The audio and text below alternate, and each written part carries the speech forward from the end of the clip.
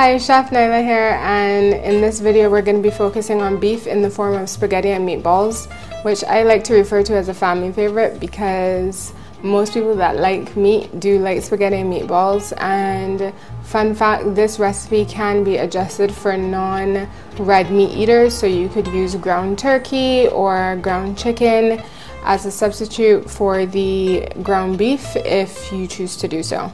Uh, so we're going to start off by dicing our aromatics and then dicing up our tomatoes. We're going to use some small dices and some larger dices today, larger dices for our tomatoes. Chop up our herbs and then mix everything together with our beef. We're going to be using about a pound of ground beef.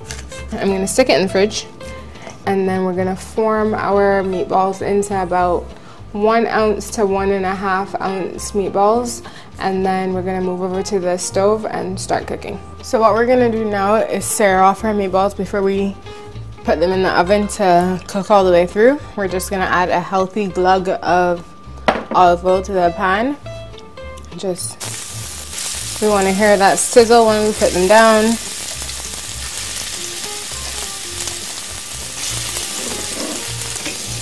And we want to keep in as much heat as possible but still give it some space to get rid of some of the smoke because we don't want our meatballs to be too smoky. So we're going to let those brown on that side for maybe a minute or two before we go turn them. And then we'll do that on each side and then we'll stick them in the oven at 350 for about 20 minutes or so.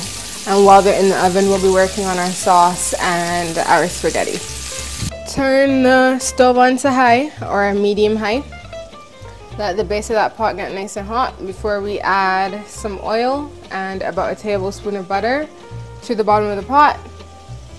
Add our aromatics, let them get very fragrant and nice and translucent before adding our tomatoes, tomato paste, uh, salt, pepper, water, and then any herbs and spices it's important to note that you can substitute water for chicken stock or beef stock or any stock that you prefer. In this instance, I have chicken stock, so I'll be using chicken stock today instead of water.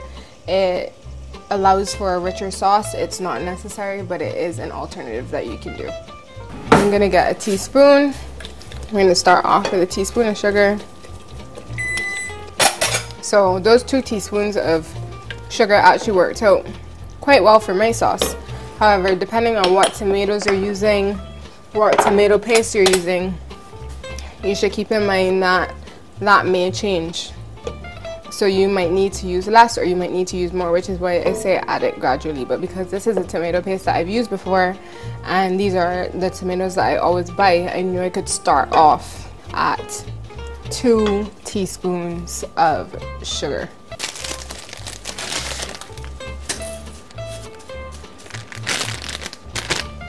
We're gonna grab our tongs and we are going to place our meatballs back into that sauce. We're gonna add just enough water that the sauce is covering the meatballs just a little bit more than it was before.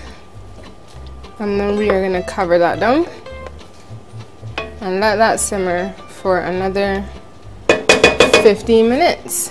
At which point we will be good to go. So as we're plating our spaghetti and meatballs uh, to meet our 500 to 700 calorie restriction, we're gonna pay special attention to how much we're putting on our plate. So we're gonna put about a cup of cooked spaghetti on our plate. That's about half a cup there. So we want about two tongs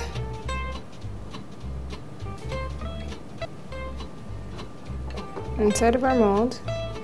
Let her do what she does. And then we're gonna do three meatballs, three to four meatballs.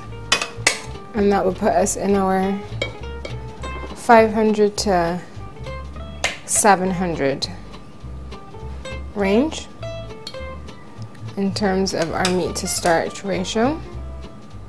And then of course, we're gonna take our ladle And we're gonna give ourselves a good amount of that sauce to eat with our spaghetti. Include some of those tomatoes. Garnish. And for a little extra, we're gonna add some freshly grated Parmesan on top. There we go. There is our spaghetti and meatballs, which closes off today's video.